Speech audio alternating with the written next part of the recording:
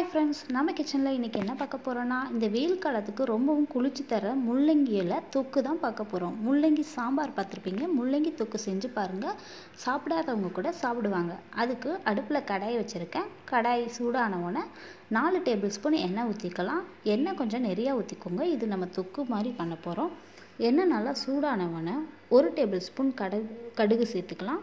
கடுகு நல்லா பொரிஞ்சு வரட்டும். பொரிஞ்சு வந்தவொடனே அரை டேபிள் ஸ்பூன் சோம்பு சேர்த்துக்கோங்க வாசனைக்கு. இப்போ இது கூட ஒரு துண்டு அளவுக்கு இஞ்சியை நம்ம தட்டி சேர்த்துருக்கோம். ஏன்னா நம்ம மு- முள்ளங்கியோட அந்த ஸ்மெல் போகிறதுக்காக இப்போ கொஞ்சம் கருவேப்பிலை சேர்த்து பொரிய விட்டுடலாம். பொரிஞ்ச உடனே ஒரு மீடியம் சைஸ் வெங்காயத்தை பொடி பொடியாக நறுக்கி சேர்த்துருக்கேன். இப்போ நல்லா வதங்கட்டும். வெங்காயம் நல்லா வதங்கி வரட்டும். நான் இன்றைக்கி மூணு முள்ளங்கி எடுத்திருக்கேன். இப்போ வெங்காயம் நல்லா வதங்கி வந்துடுச்சு. இது கூட ரெண்டு மீடியம் சைஸ் தக்காளியை பொடியாக நறுக்கி சேர்த்துருக்கேன் தக்காளியும் வெங்காயமும் நல்லா வதங்கி வரட்டும். நல்லா மசிஞ்சு வரட்டும். இப்போ பாருங்கள் நல்லா மசிஞ்சு வந்துடுச்சு. இந்த சமயத்தில் நம்மளோ நம்ம நறுக்கி வச்சுருக்க முள்ளங்கியை இது கூட சேர்த்துக்கலாம். முள்ளங்கியை நல்லா பொடியாக நறுக்கிக்கோங்க. நம்ம சாம்பாருக்கு நறுக்க மாதிரி நறுக்கக்கூடாது. வெங்காயம் நறுக்கிற மாதிரி நறுக்கிக்கோங்க. கேரட் பீன்ஸ் நறுக்கோம்ல அந்த மாதிரி நறுக்கி ஒரு வாட்டி இதை வந்து மிக்ஸ் பண்ணிடலாம் தக்காளி வெங்காயத்தோட. இப்போ மிக்ஸ் பண்ணிவிட்டு இதுக்கு தேவையான மசாலா சேர்த்துடலாம். அரை டேபிள் ஸ்பூன் மஞ்சள்தூள் சேர்த்துருக்கேன். தேவையான அளவு உப்பு சேர்த்துக்கலாம். முள்ளங்கியில் உப்பு அதிகமாக தெரியும். அதனால் கம்மியாக சேர்த்துக்கோங்க ஸ்டார்டிங்கில் இப்போ நம்ம வீட்டுக்கு இது யூஸ் பண்ணுவோம்ல குழம்பு மிளகாத்தூள் அதை தான் நான் ரெண்டு டேபிள் ஸ்பூன் சேர்த்துருக்கேன். இப்போ சேர்த்துட்டு நம்ம இதை நல்லா ஒரு வாட்டி மிக்ஸ் பண்ணி விட்டுட்டு ஒரு ரெண்டு டம்ளர் அளவுக்கு தண்ணி ஊற்றி நல்லா நம்ம வந்து மிக்ஸ் பண்ணிவிட்டு மூடி போட்டுடலாம்.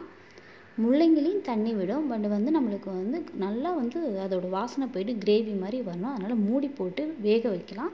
ஒரு அஞ்சு நிமிஷத்துக்கு ஒரு வாட்டி இதை ஓப்பன் பண்ணி ஓப்பன் பண்ணி கிளறி விட்டுட்டு மூடி போட்டுக்கோங்க. அடுப்பு வந்து லோ ஃப்ளேம்லேயே இருக்கணும். இப்போ பாருங்கள் நல்லா ஒரு பத்து நிமிஷம் கழித்து நம்மளோட முள்ளங்கி நல்லா சாஃப்டாக வெந்து வந்துருச்சு. மறுபடியும் மூடி போட்டு ஒரு ரெண்டு நிமிஷம் கழித்து ஓப்பன் பண்ணி பார்த்தா நம்ம ஊற்றின எண்ணெய் எல்லாம் பாருங்கள் தனியாக பிரிஞ்சு வந்திருக்கு. இப்போ நல்லா வந்து அடுப்பை ஹை ஃப்ளேமில் வச்சு ஒரு வாட்டி மிக்ஸ் பண்ணி விட்டுக்கலாம்.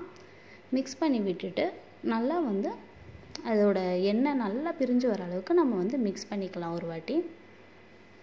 இதை வந்து நம்ம ரெண்டு நாள் கூட வெளியில் வச்சு சாப்பிட்லாம். அவ்வளோ டேஸ்ட்டாக இருக்கும். தயிர் சாதம் ரசம் சாதம் சாம்பார் சாதம் எல்லாத்துக்குமே இது வந்து சூப்பராக இருக்கும்.